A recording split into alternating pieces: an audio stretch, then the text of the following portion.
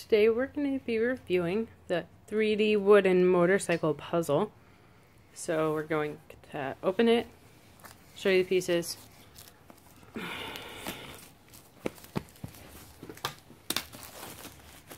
We're going to open it, show you some pieces, and then a little bit of how it's put together. So it comes with some sandpaper in case you need to sand parts.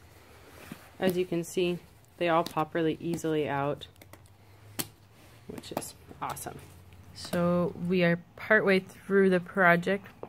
Um, we've actually been using a little bit of wood glue, but for the sake of showing you this, he's just going to put it on. Our awesome motorcycle. It's got pretty decent directions. Instructions. They are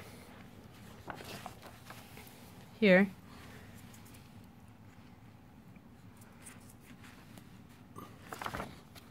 And uh, that's just on the back of the front page. Here is the final product. It's about the size of my hand, so four or five inches long, and it has some cool features. The wheels don't move, but the the sorry, the wheels don't turn, but the handlebars rotate, and it is really cool